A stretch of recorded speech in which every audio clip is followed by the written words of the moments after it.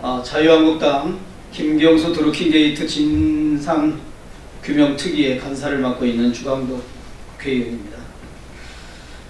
어, 오늘 오후 어, 서울중앙지검은 법원행정처 기조실장, 대법원 양형위원회 상임위원 등 전현직 고위법관 10명을 직권남용 권리행사 방해죄 및 공무상비밀 누설죄 등으로 어, 법원에 기소하였습니다.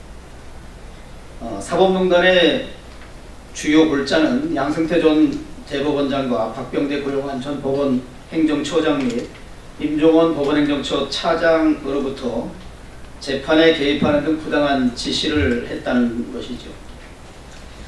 그런데 오늘 성창호 부장판사에 대한 공무상 비밀 누설죄 기소가 이루어졌습니다.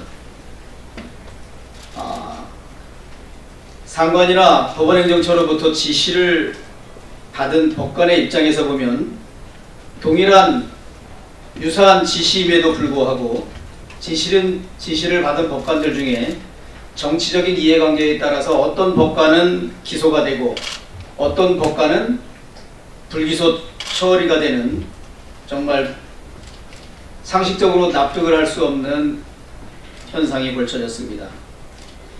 이 피해자격이다 해서 기소가 되지 않은 이동원 현 대법관과 어, 피고인으로 기소가 된 성창호 부장판사에 대한 그런 내용을 한번 보겠습니다.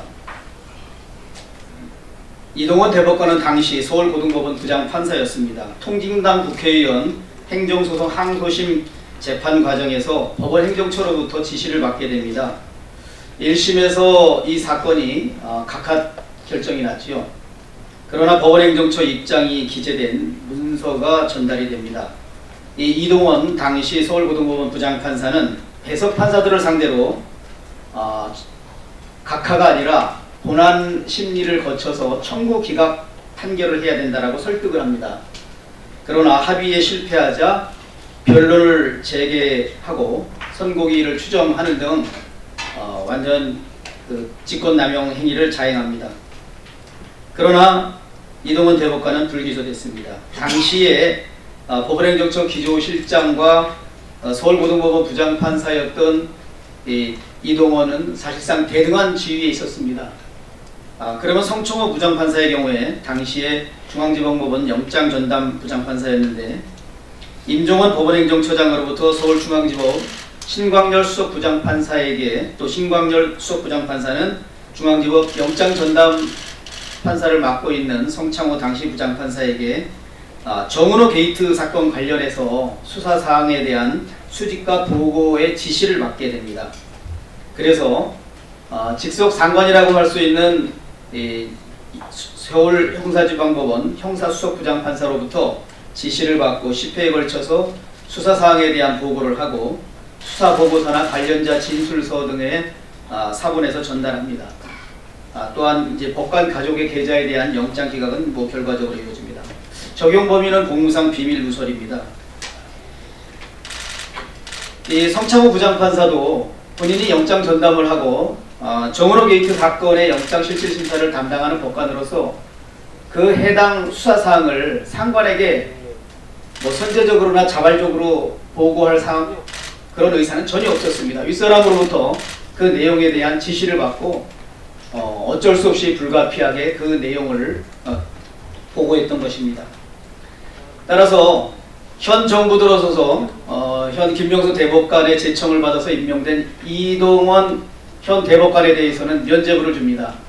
그러나 최근 김명수, 김경수 어, 전 지사에 대해서 실형을 선고하고 법정 구속을 했던 성창호 부장판사에 대해서는 어, 이 공무상 비밀 누설죄를 적용하여 기소를 합니다.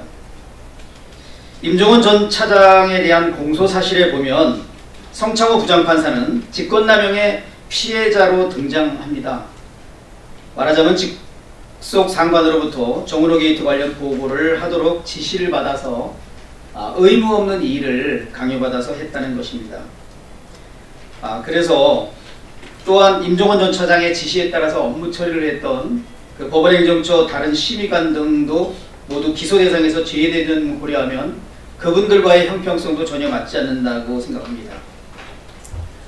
백번을 양보해서 성창호 부장판사의 혐의가 명백했다면 임종원 전 차장을 법원에 기소할 당시 이 부분에 대해서 임종원 전 차장과 성창호 또는 당시 형사수석 부장판사를 공범으로 해서 기소를 했었음이 상식적으로 인정되는 거 아닙니까? 그러나 임종원 전 차장의 당시 공소장에 보더라도 이 사건 범행 내용이 전혀 없습니다.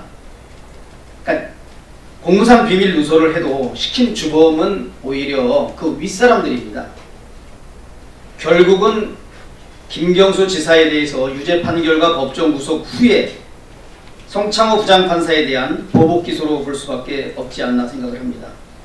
또한 성, 김경수 지사에 대한 1심 판결을 선고한 성창호 부장판사를 기소함으로써 판결의 정당성을 근본적으로 흔들어서 2심 판결에서 판결을 뒤집어 보려는 의도가 명백해 보인다고 생각합니다.